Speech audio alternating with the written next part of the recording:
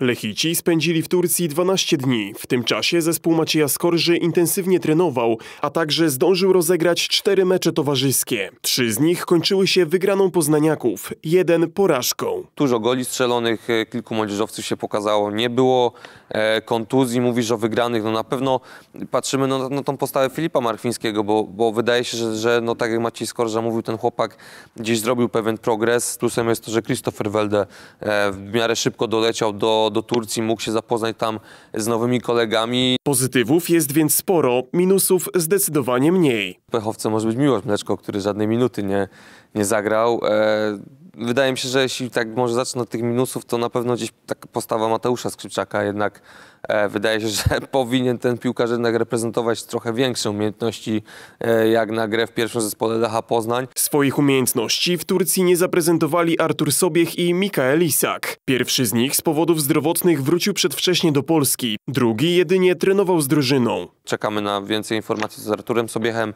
E, Mikeliszek dotarł do Turcji, chociaż nie grał, ale wydaje mi się, że zagra w meczu z e, tym piątkowym z Hertą. Na pewno dostanie e, minuty, właściwie powinien zagrać w większym wymiarze czasowy i jestem spokojny o to, że któryś z tej dwójki napastników będzie gotowy na e, 6 lutego. Pod nieobecność wspomnianej dwójki trener Skorża testował na pozycji napastnika m.in. Norberta Pacławskiego, Filipa Marchwińskiego czy też Żao Amarala. Ten ostatni w wariancie z fałszywą dziewiątką może okazać się ciekawą alternatywą. W ataku bardziej bym stawiał mimo wszystko na Amarala jako taką dziewiątkę albo fałszywą dziewiątkę yy, niż na Filipa Marchwińskiego, bo myślę, że Filip Marchwiński yy, jest bardziej ofensywnym pomocnikiem niż napastnikiem. 20-letni Marchwiński był jednym z jaśniejszych punktów Lecha w Turcji. Być może wiosną będzie pełnił on nieco większą rolę niż w trakcie rundy jesiennej. W środę kolejosz powróci do treningów, a w piątek i sobotę rozegra ostatnie mecze towarzyskie, kolejno z Hertą Berlin i Miedzią Legnica.